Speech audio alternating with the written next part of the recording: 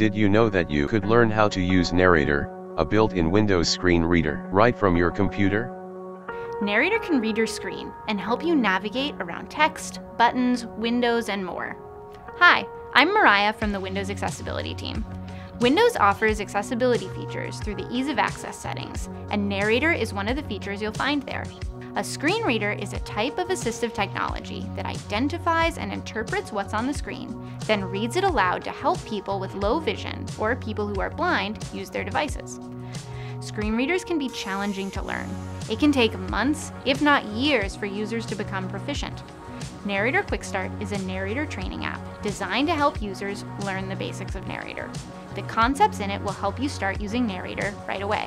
With it, you can navigate, read, interact with controls, and have a safe place to practice the concepts you've learned.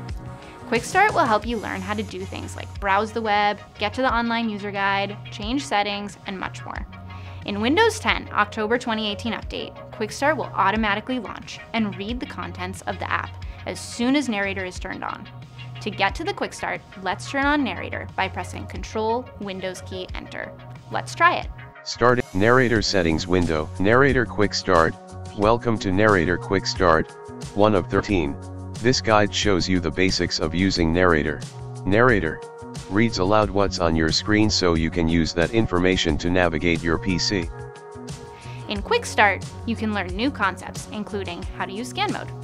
Scan mode can help you use your computer with just a handful of keys. For example, you can use the up and down arrow keys to navigate text paragraph by paragraph and move to different parts of an app or web page.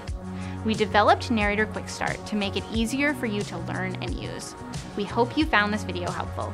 If you have any feedback or ideas about Narrator or our Quick Start app, please let us know in the Feedback Hub by pressing Windows key Alt F when Narrator is running. Thank you for watching and have a great day.